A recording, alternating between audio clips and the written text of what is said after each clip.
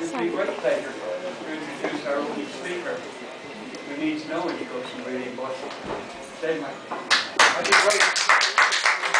Uh, thank you very much, Tony. It's, uh, it's even odder for me to be in Max um, because uh, you're talking about the, the, the, late 70s and the early 80s. I remember when the locals remember when the 8 bus was stopped coming to Dalkey, uh, and uh, that must have been about 1981, 82. Of course, the reason they said was Max. They couldn't, the rallies and Max and all that carry on. But it, it gives me great pleasure to talk to talk about uh, to introduce uh, Frank's work. Uh, not because I know anything about art, I don't, but um, Frank approached me just before the summer and said, you know, if you're around, would you would you open this exhibition about money, but not money as in finance, but money and how it's used and what we think of it and how people express it. And he said, and in general, just say a couple of words about the economy. Now, it always strikes me very odd about the economy is that the economy is only our stories. It's only actually our experiences. When people talk about the economy, they go on television and they use you know, numbers and GDP and inflation, and all that stuff. But in actual fact, what they're trying to do is tell the story of all of us. And the interesting, when the economy booms, it's only because collectively people get a little bit giddy and kind of tend to influence each other. And then people go into depressions, and ultimately what, what happens in the economy is an exercise in human nature. But ultimately, all of economics are stories. And maybe the reason I got into economics, it's funny you, you did mention Max in the late 70s and early 80s, was uh, when I was growing up around here, um, in the early 80s, when I was a, a young for late 70s, my father lost his job, which wasn't supposed to happen to people who lived up in Saval Park Road. And um, my dad, and I remember it because I was about 10 or 11 at the time, my father put on a suit and pretended to go to work for an entire year because he was so ashamed of being the only dad on the road who had a job. And I remember asking him when I got older, like, where did you go? Because, you know, you know the way parents try to always disguise from their children what's going on. But you sense it. Even when you're 9 or 10, you sense that something's going on that isn't right. And I used to ask my dad, where did he go? Uh, this is when, you know, when I was about 20. And he said he used to go to Brittas Bay and walk on the beach on his own. Or he used to go to Sally Gap and walk on his own. And the reason he walked on his own because he wouldn't meet anybody from around here that would identify him as being redundant. And you think, what does that do to somebody over their life? It profoundly changes them in, in an emotional way.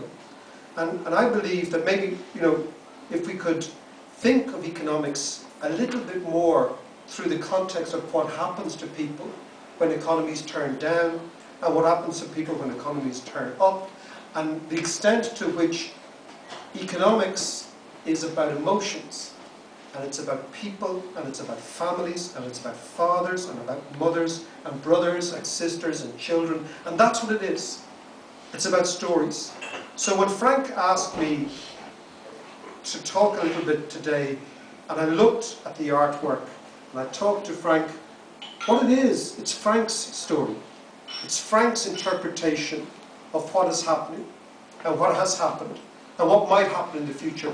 And that, that story is all the backstory of Frank's life, and his experiences, and the people he's met, and how he sees the world, and how the world sees him. And if you look at what he's done here, First of all, with the billion euro house, which was not only was it viral, but I made a documentary in Australia in 2011, and it has it was talked about there by Aussie producers. It was one of the few things that they remembered from the Irish crisis was your house, Frank. Yeah. Which is about, but again, but again, isn't that fantastic? Because it's not about you know, who did what or which, what happened to some bank or whatever. What people remember is some guy decided to go to the central bank and spoof to the central bank. Okay, he got an idea about shredded money from confetti at somebody's wedding a couple of years previously. He went to the central bank. He said he was doing an installation. They said fair enough. And this, what I love is the, the subversive nature of the small lie, you know? Because all of us, you know, everyone tells white lies, and the subversive nature of the white lie is great. And I speak as a former economist in the central bank, so I know how difficult it is to pull the wool over their eyes. And then he goes and he says, okay, what am I going to do here? So we have a housing crash, and this housing crash is about money, and the money that was spent, the money that was borrowed, the money we didn't have, the money when they came looking for the money we didn't have, and all that sort of stuff. I'll make a house. And I'll make a house and we'll see what happens. And not only do you see what happens, suddenly it becomes world famous. But again, Frank, what you're doing is you're telling a story. And that story clicks with people, it gets inside people's heads. So what we have now is, four years on, I think it's fair to say, mm-hmm. Is art that was in the house, then work that was done when Frank was in Thailand in 2010, 2011. And what it is, is one man's story through the mechanism of the confetti of money, which I love because money is only in our heads. It's only about trust. If you trust that it's worth something, it is. If you don't, it's not. And the idea that the confetti of money, and what, what, what he has here, and I, I'd urge you all to go around and look at all the different pieces. It's international, it's domestic, it's local, it's some big picture stuff, some little picture stuff. But again, I come back to that basic issue which is that if we talk to each other, everybody has a story, our own personal story of the last five or six years in this country, or the last ten years in this country. Things that went wrong, things that went right, things that if I had my time again I would have done differently, things that if I could actually change it, I would change it. But if you really think about the last five or six years, it is a collection of individual stories.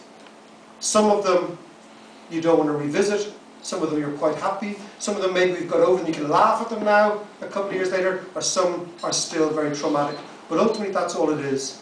And I would like to congratulate you, Frank, for making economics and finance a little bit more interesting than the stuff I have to deal with every day. And I'd like us all to put our hands together for Frank Buckley.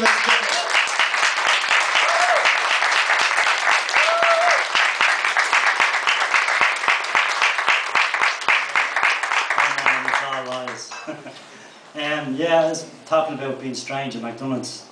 I shouldn't be here, I'm barred.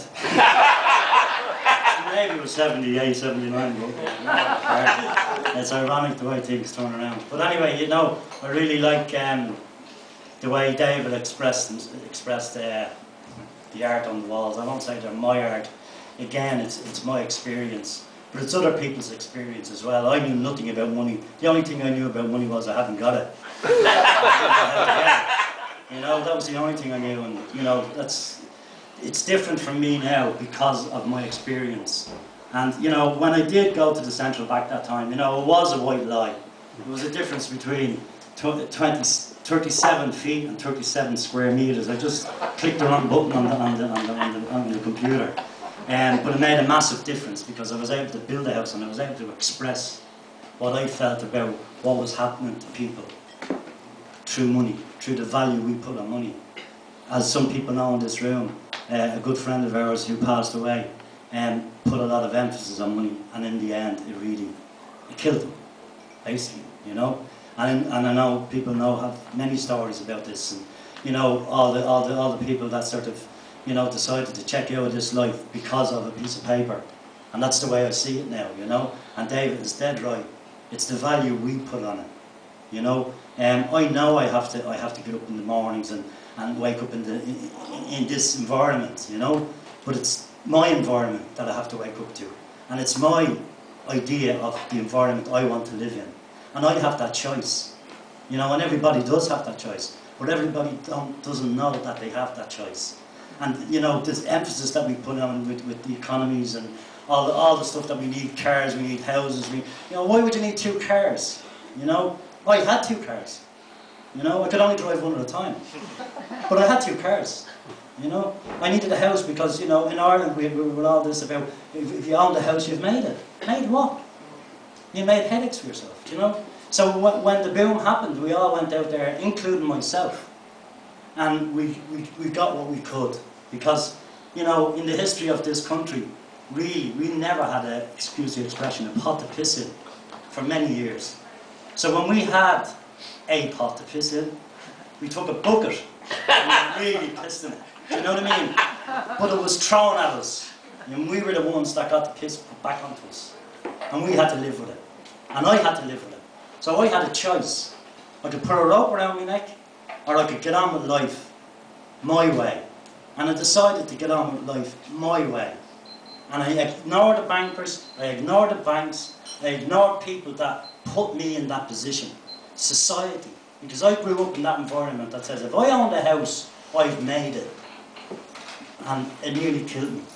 And I know many people that it killed. So this, this, this money, this, this confetti, as, as David calls it, and all this sort of art around the walls and that, is an expression, really. That's all it is. It's a lot of frustration, it's a lot of anger, and it's, it, it's turned into beauty, it's turned into colour. It's, I, you know, I hope nobody a paint nobody tonight. I don't want to give them away. I like them so much. You know what? I really appreciate your support here. So put your hands in your pockets and give us room.